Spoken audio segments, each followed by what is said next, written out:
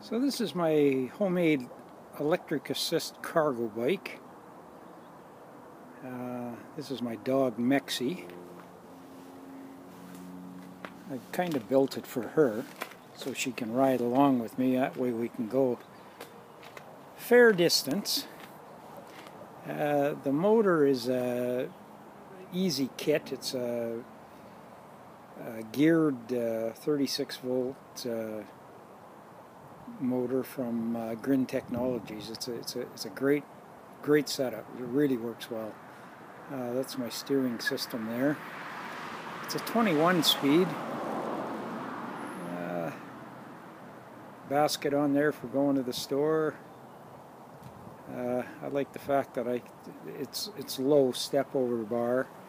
Um, I've got several hundred miles on it now, and uh, it, it's working out really well. It's it's a great little bike. It's it uh, well, it's not a little bike, but we like it, don't we, Mexi? Anyway, that's it.